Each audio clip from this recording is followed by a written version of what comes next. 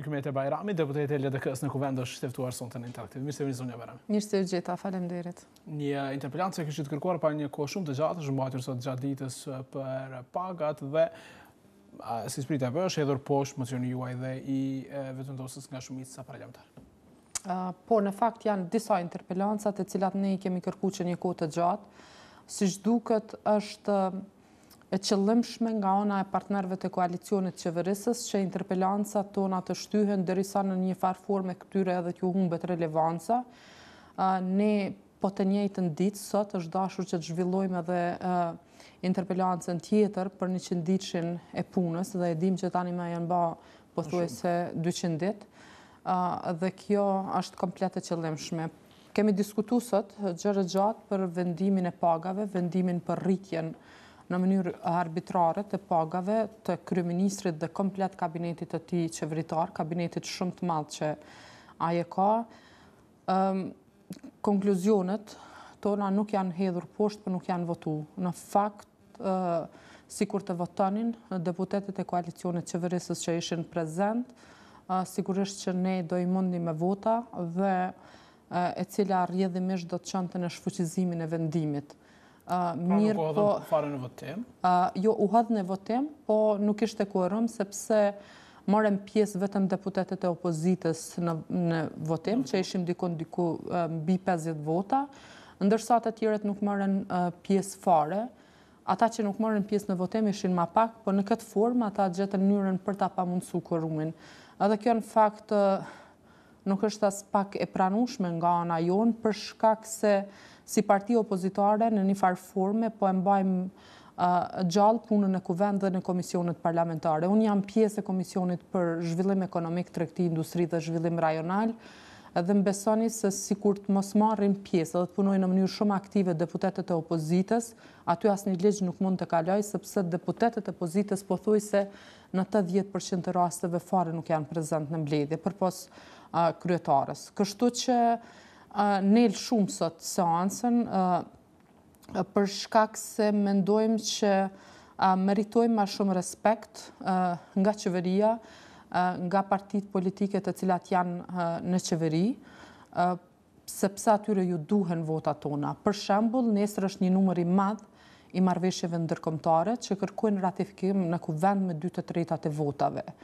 Dhe sikur nëse deputetët e opozitës nuk do të marrin pjesë, domethënë asnjë nga këto marrëveshje nuk do të kalonte. Po në shumicën e rasteve, edhe për ligje të cilat kalojnë me shumicë të thjeshtë, nëse opozita nuk do të votojë, në fakt asnjë iniciativë ligjore nuk kalon Ju e dini ata kanë gjashtëdhjetë e një numra, gjithmonë dikush gjendet në udhëtim, ka dikush që nuk udhëton ta zëmë prej Prizrenit, prej ku e di unë, prej regjioneve të largëta, janë kushtet e motit e tjera.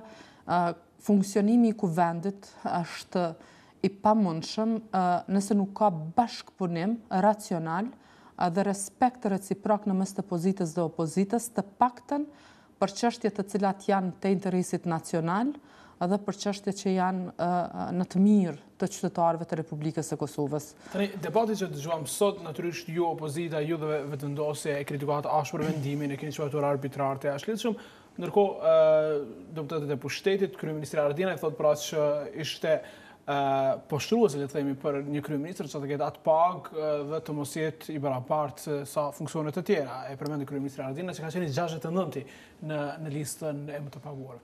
Ë nuk e di nëse nëse është poshtruese për kryeministrin Haradinaj, atëherë si ka qenë domethënë për uh, ish kryeministrin Isa Mustafa. Po për kryeministrin uh, mbase është poshtruese po, që një këshilltar i kryetarit të kuvendit ta ketë uh, pagën më të lartë apo jo? i cili ka punu, jo, domethënë, ne si kabinet qeveritar në atë kohë kemi punu jo vetëm me këtë nivel të pagave, po ne e përmendëm sot, po edhe në breshërinë e Molotovit, protestave, gazit lotësjellës, veve dhe të gjitha atyre. Ju e dini në çfarë kushteve kemi punu.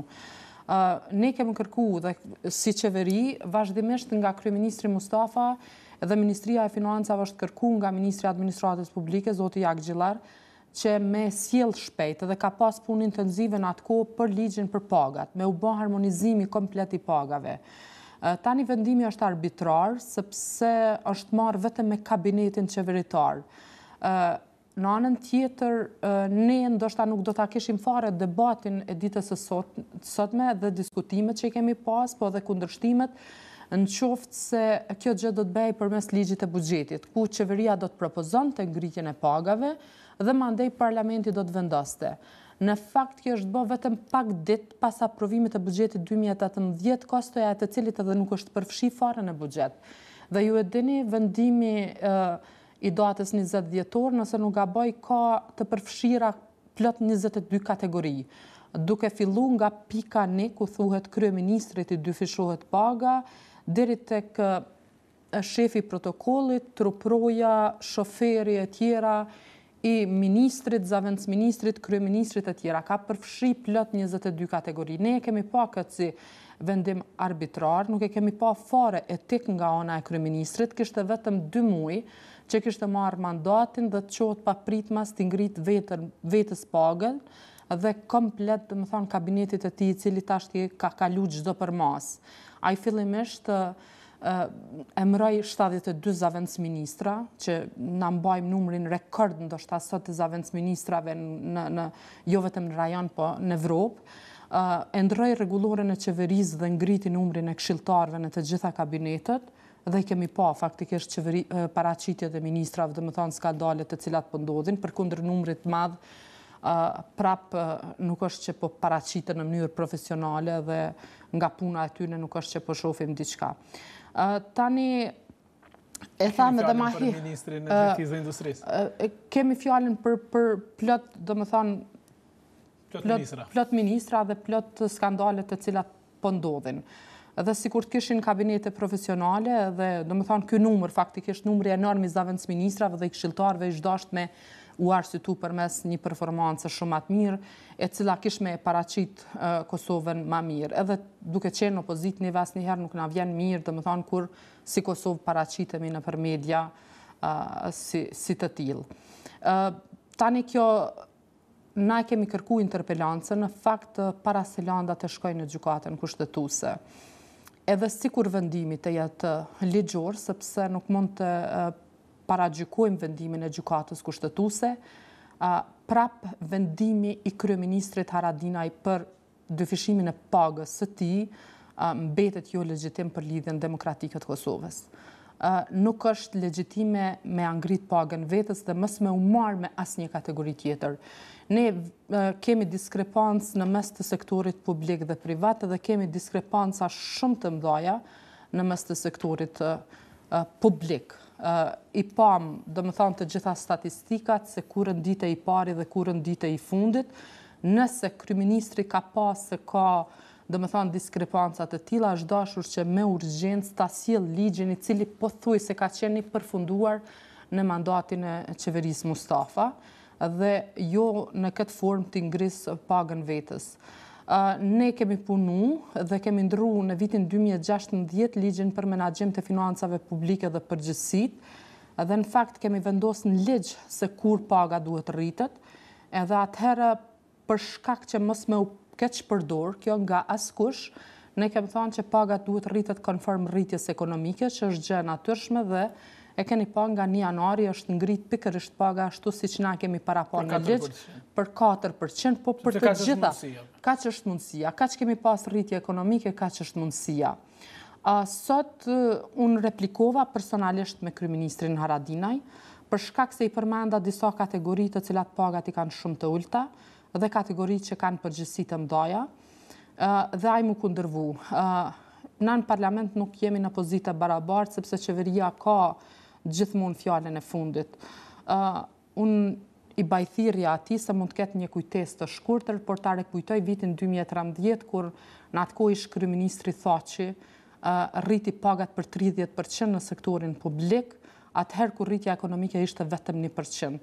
Dhe unë kam qenë deputete e opozitës, pata debatu me kryeministrin dhe kam qenë unë ajo e cila nuk kam leju që të rriten pagat në Kuvendin e Republikës së Kosovës dhe të rriten pagat në komplet sektorin e qeverisë. Thaçi ka marrë një vendim në atë kohë që 5 milion nga kostoja, domethanë e pozitave të larta, të shkojnë për shërimin e fëmijëve të sëmurë në vitin dy mijë e trembëdhjetë nga leukemia. A kanë shkuar vërtet ato para? Nuk e di nëse kanë shku, po ajo çfarë është me rëndësi është që nuk ka pas rritje të pagave të deputetëve dhe nuk ka pas rritje të pagave të kabinetit qeveritar. Kjo tani mund të shi, kjo kjo mund patjetër, ka qenë, ka qenë, domethënë ka qenë pjesë e vendimit dhe mandej është tërheq.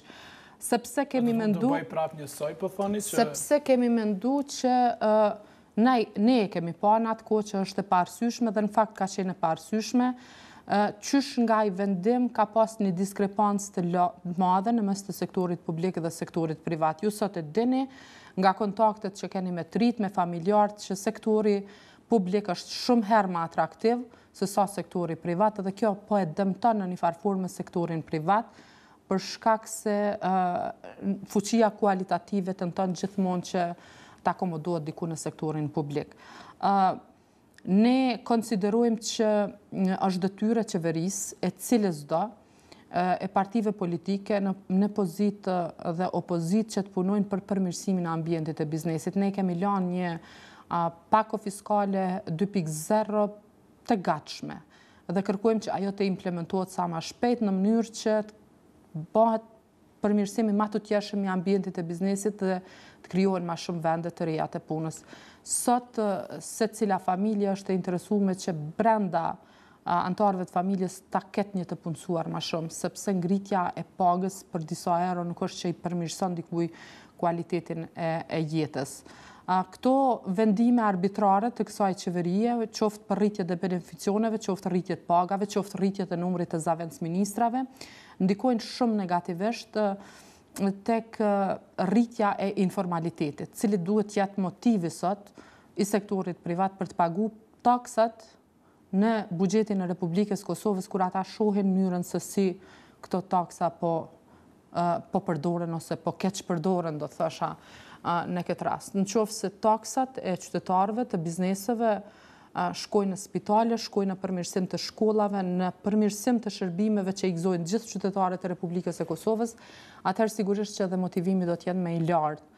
Ne duhet të punojmë gjithë së bashku që të përmirësojmë jetën e të gjithëve. Ne jemi përgjegjës edhe për ata të cilët sot punojnë nën pagën minimale, e të tillë ne kemi edhe brenda institucioneve publike.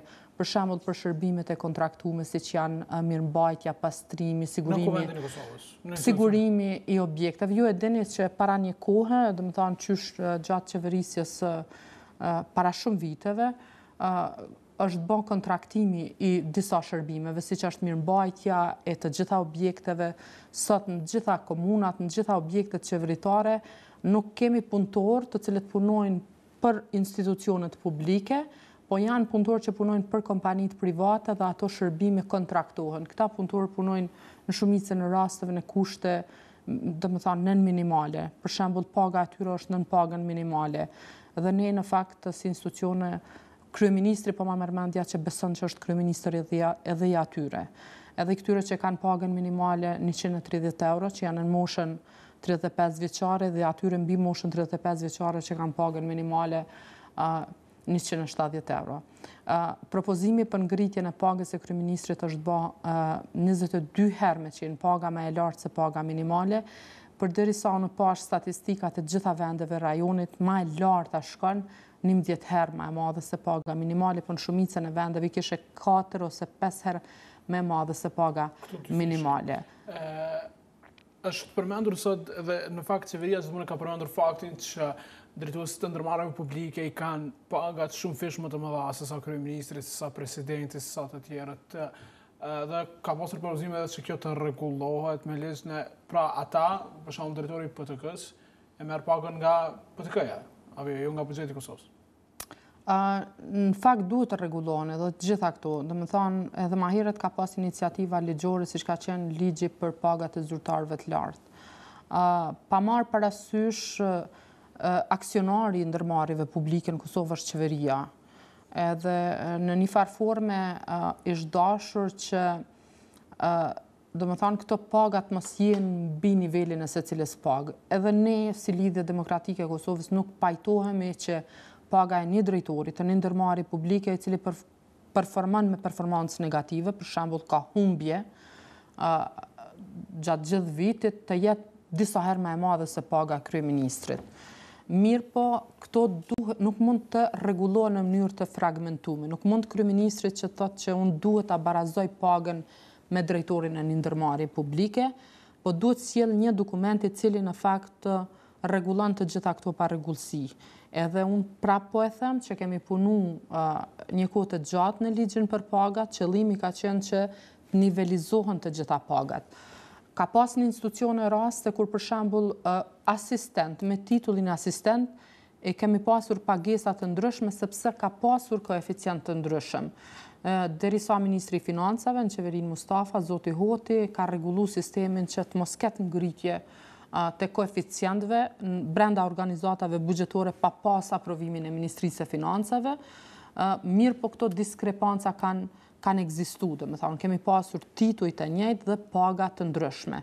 Dhe të gjitha këto janë të gatshme, kanë qenë të gatshme në draftin të cilin ne kemi punu, ministri Jagxhillar në atë kohë, edhe nuk e dimë pse ky ligj nuk po vjen. Në fakt, kanë ardhë shumë ligje të cilat ne kemi punu, gjatë kësaj kohe është dashur që edhe ai ligj, ndoshta me insertet që qeveria aktuale mund të me elementet e reja dhe komentet mund t'i ketë futur, të sillet në kuvend dhe ta rregullojmë njëherë këtë punën e pagave, mirëpo Të them, kam mundësi t'ia dyfishoj pagën vetes edhe t'ia dyfishoj, domethënë kjo është komplet jolegjitime.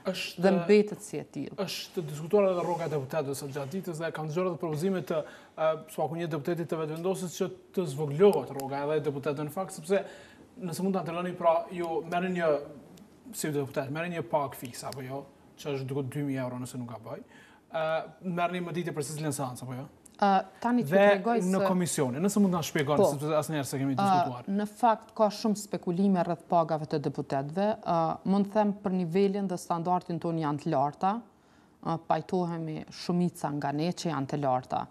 Po paga e deputetit nuk është aq sa flitet dhe komentohet bile dhe sot aty disa herë u komentu që është ma e lartë se këtu ose ma e lartë se aty. Po ja na tregoni ju, cila është paga fikse zonë? Po, mund t'ju tregoj edhe në njerën... Në njërin prej muajve mund t'ju jap edhe fletëpagesën, nuk ka jo, absolut për hir të transparencës. Po, tani paga bazë e deputetit, bruto, para se të taksohet, është 1.480 euro. 1.480 euro. Ne marrim 160 euro për seancat, Në qoftë se përcjellim të gjitha seancat, njëqind e gjashtëdhjetë euro në muaj, mund të mbahet një seancë, mund të mbahen dhjetë seanca. Dhe unë si e kam shpjegimin, nëse mungojmë vetëm në njërën prej seancave, na hiqet gjysma, që është tetëdhjetë euro, nëse mungojmë në dy seanca, në fakt nuk paguhemi fare për seancat dhe marrim komplet dyqind e katërdhjetë euro për komisione.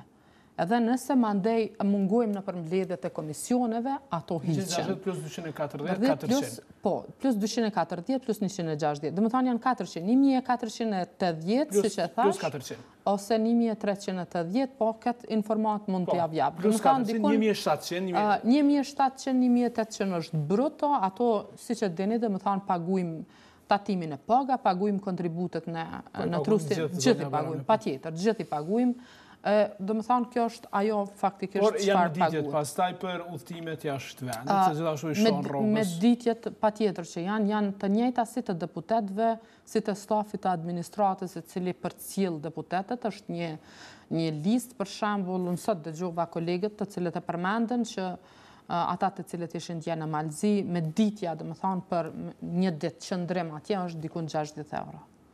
Edhe varet është... A është varet prej shtetit në qytet? Jo? Varet, varet prej shtetit në shtet është kalkulu qysh nëse s'gaboj në kohën e UNMIK-ut një kosto se sa duhet të shpenzojë dikush për të ngrënë tri vakte. Në qoftë se... 20 euro për një vakt. Në qoftë se, domethënë, kjo është për gjithë zyrtarët e mm, Republikës së Kosovës, nuk është për... Edhe ka pasur, domethënë, tendenca që edhe kjo faktikisht të zvogëlohet. Në qoftë se paguhet hoteli me mëngjes, mëditja zbritet, në qoftë se e ke mandej darka dhe dreka të pagume nga organizatori kuptohet, domethënë, ajo mund të zbritet dhe ka raste kur ajo vjen në 20 euro ose në 15 euro. Por e dim që disa deputetë udhëtojnë shumë, zonja Bajrami udhëton shpesh nëpër shtete të ndryshme disa deputetë, dhe në fakt kam përshtypjen që më së shumti deputetët edhe zyrtarët e tjerë qeveritarë kanë dëshirë që të shkojnë në Tiranë, në Podgoricë, në Shkup për të marrë këto mëditje sepse shpenzojnë më pak. T'ju them të drejtën nuk e di sa udhëtojnë deputetët, mund të udhëtojnë ndoshta mvarësisht edhe prej komisioneve.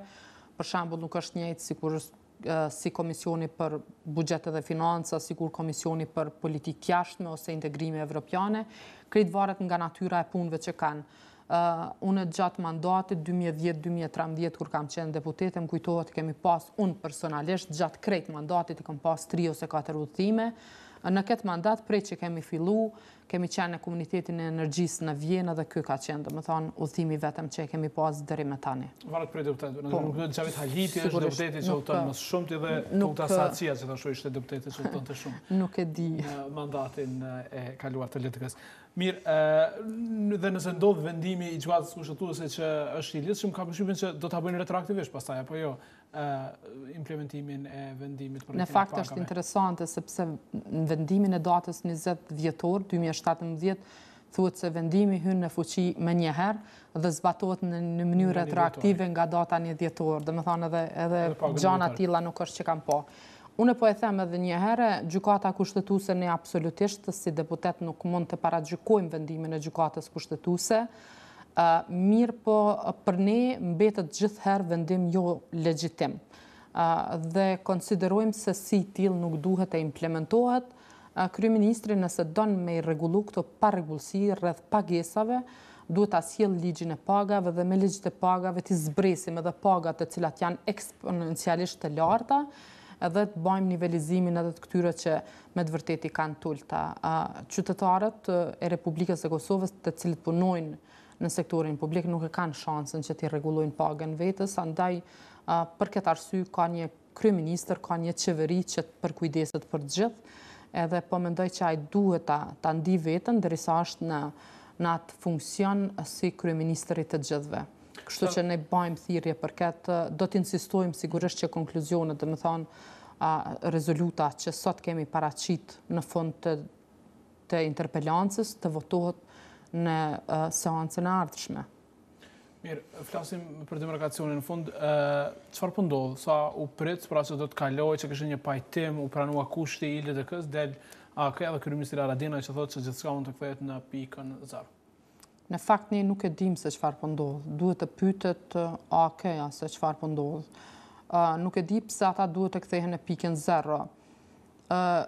LDK-ja është unike, ka 27 vota pro demarkacionit, duke përfshi këtu deputetët e Alternativës dhe Korabin. Korab Sejdiun, kemi plot 27 vota. Qytetarët e Republikës së Kosovës duhet ta kenë parasysh një gjë. LDK-ja është parti e cila ka ra nga pushteti për shkak të kauzës së demarkacionit nga ana para së gjithash e kryeministrit të tanishëm Haradinaj. Asnjë parti politike në Kuvendin e Republikës së Kosovës nuk do të votonte për një gjë për të cilën ata faktikisht kanë ra nga pushteti. Por ne nuk e bëjmë këtë për koalicionin qeverisës dhe as për zotin Haradinaj, e bëjmë për qytetarët e Republikës së Kosovës dhe besoj që kjo po çmohet nga të gjithë. Kemi 27 vota, jemi unikë. Ajo çfarë Lidhja Demokratike e Kosovës ka kundërshtu, kur ka ardhë ligji, ka qenë sepse është marrëveshja pikërisht ajo e vitit dy mijë e pesëmbëdhjetë, marrëveshja e cila është punu në bazë të Komisionit Shtetëror Meha dhe marrëveshjes i ishte bashkangjitur raporti i Komisionit Shtetëror të Ri. raport i cili nuk është raport i demarkacionit, është raport i cili mbikëqyr, ka mbikëqyr, ka rishqyrtu, e ka vlerësu, e ka vlerësu punën e komisionit Meha, dhe i cili në fakt në asnjë pikë nuk është pajtu që ata kanë punu mirë. Si i tillë, ligji ka qenë kontradiktor, Deputetët nga radhët e LDK-së kanë ngritë shqetësimet e tyre, ne e kemi diskutu këtë gjerë e gjatë dhe e kemi pa që nuk mund ta votojmë një ligj i cili thotë në pikën një që pajtohet, domethënë e votojmë marrëveshjen e dy mijë e pesëmbëdhjetës dhe në pikën tre thotë krejt çka keni votu në pikën një është antiligjore, antikushtetuese, antipatriotike dhe humb tetë mijë e dyqind hektarë. Deklarata në mes të dy presidentëve edhe pse ma herët ka qenë pjesë e ligjit edhe pse kemi pas deputetë të LDK-së të cilët kanë ba propozime të tilla në mandatin e kalum, por kanë qenë partnerët të koalicionit që nuk janë pajtu në gjana të tilla, neni dy domethënë ka qenë pikërisht është aty, që e lejon korrektimin e marrëveshjes në qoftë se ka fakte të reja, edhe deklarata e presidentëve thotë një gjë të tillë, Duhet të mjafton të apo jo? Që domethënë që në qoftë se kemi gjetje të reja, atëherë lejohet korrektimi, ne absolutisht as nuk mund ta forcojmë pozicionin e fakteve, po e them, në thonjëza, të gjetura, dhe as ta zbehim qoftë se ato i fusim në ligj. Për shkak se ne po ratifikojmë marrëveshje dhe nuk ratifikojmë raportet të cilat janë bo pasi që është nënshkru marrëveshja dhe raportet të cilat flasin që një raport në bazë të cilës një marrëveshje është bo nuk është e mirë. Është komplet kontradiktore, ne kemi kërku që faktikisht kjo ka kontradiktë të eliminohet. Po ju e keni kërkuar pra heqjen nga ligji, apo jo, heqjen nga ligji të raportit. Absolutisht. Pra ju kërkoni vetëm që të shkruajë që dokumentacioni mund të shërbejë si orientim. Të gjitha dokumentat. Po është pajtuar me këtë njëherë, zoti Haradinaj, pra tash, pse po thotë prapë se duhet të jetë pjesë e ligjit raporti. Dhe që... Ata siç duket janë pajtuar vetëm që të futet fjala orientim, atë që tjetër. Lidhja Demokratike e Kosovës nuk ka kërku marrëveshje Përgjegjësia për vendimet e mëdha, përgjegjësia për kalimin e demarkacionit para së gjithash është e Kryeministrit të Republikës së Kosovës. Lidhja Demokratike e Kosovës ka ka ka tregu që i ka njëzet e shtatë vota pro demarkacionit dhe ka thënë që kur të eliminohen kontradiktat ligjore që ekzistojnë në verzionin aktual, Ne do e votojmë dhe do e bëjmë një gjë të tillë. Ne, domethënë, jemi në gjendje gatishmërie për ta votuar kurdo që seanca thirret në qoftë se nuk ka kontradikta. Ne kemi vu kusht që kjo të hiqet sepse është antiligjore. Ndërkohë që ne nuk jemi ulë me bisedu me kryeministrin. Janë ulë partnerët e tjerë të koalicionit e dini ju, Edhe ju jeni ulë, zoti Hoti ka qenë në takim në një prej takimeve po me zotërinjtë e koalicionit që vëllë dalë. Nuk është që kemi bo marrë, po ju them që nuk kemi marrëveshje me shkrim, ne kemi vu kushtin, kemi thonë të hiqet kjo, dhe ata kanë dalë në media dhe kanë thonë që është pranu kushti i Lidhjes Demokratike të Kosovës. Në seancë, Deputetët e Komisionit për Punë të Jashtme janë tërheqë me e ba amandamentin. Përfaqësuesja e AAK-së ka qenë në Komisionin për Punë të Jashtme. Është lexu dy herë nga kryetarja e Komisionit, me pikë e me presje amandamenti. I keni edhe fotot, i keni, domethënë të, të anëtarëve tanë të Komisionit, i keni edhe videot kur lexon Zoti Hoti e lexon amandamentin në seancë, propozimin, tërhiqet komisioni të gjithë pajtohen, tërhiqet komisioni, zoti Hoti e lexon fjalë për fjalë se cili është propozimi i LDK-së, të gjithë pranohen, që komisioni të tërhiqet, ta bëjë amandamentin, amandamenti të përkthehet në tri gjuhët dhe të sillet në seancë. Po ata s'e kanë parë që e keni heq si pikë, pra. Nuk është 1.1, 1.2 dhe kjo s'ka pikë. Përfaqësuesja e AAK-së ka qenë Zonja Time Kadrija. Ka qenë, domethanë, njëra prej tyne, në përfaqës që apës, ka qenë, edhe ka po, edhe ka votu për, as nuk ka qenë kundër asgjaje. Domethanë, kjo është problem, po tani ne nuk, domethanë, nuk jemi fajtorë për këtë. Por ju nuk e doni pjesë të ligjit raportin? Nuk e pranoni raportin e Bulliqit si pjesë të jo ligjit? Jo që ne nuk e pranojmë. Është kontradiktë ligjore, me thanë që po e ratifikojmë, po e ngris dorën për marrëveshjen e vitit dy mijë e pesëmbëdhjetë, po pjesë e këtij ligji është edhe një raport, i cili thotë që marrëveshjen të cilën po e ratifikoni, domethanë po humbim tetë mijë e dyqind hektarë. Nëse ne jemi të bindur si deputetë që po humbet ajo tokë, ne nuk kemi fare nevojë Deklarata e dy presidentëve thotë nëse gjinden fakte të reja. Deklarata e dy presidentëve nuk thotë që faktet e gjetura mund ta korrigjojnë.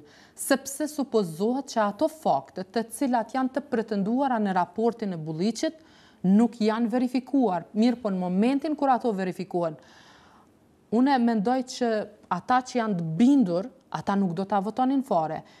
Ne e kemi të gjithë materialin e të gjitha komisioneve, përfshi atë të ekspertëve amerikanë, domethënë komisioni që u formu në atë kohë nga zyra e presidentes, komisioni nga akademia që e formoi kryeministri Mustafa, komisionin Bulliqi, komisionin Meha, i gjithë ky material është për orientim që menjëherë pas ratifikimit të marrëveshjes, pas pas lirimit nga izolimi të qytetarëve të Republikës së Kosovës, të ulemi të gjithë, ata që janë më ekspertë nga të gjitha grupet parlamentare, ta shfrytëzojnë këtë material dhe të ecim tutje, nëse kemi fakte për korrigjim. Mirëpo nuk mund të votojmë, deputetët nuk mund të votojnë për diçka që është kontradiktore. Unë po votoj, po në anën tjetër, për atë çfarë unë po votoj, po e di që po baj shkelje. A prisni përfundimisht që javën tjetër të votohet në Kuvend, pra po kërkohen edhe dy vota nëse AAK-ja dhe ju mbeteni bashkë pra në këtë pikë, po kërkohen edhe dy vota nga Srpska ose Vetëvendosje, çfarë do ndodhë? Në fakt edhe lojrat e, domethënë e fundit të AAK-së që ne ju paskemi ndrru pika e tjera, duken si tendencë për me kamuflu mungesën e këtyre votave, sepse edhe me njëzet e shtatë votat e LDK-së prapë domethënë nuk janë votat e mjaftueshme.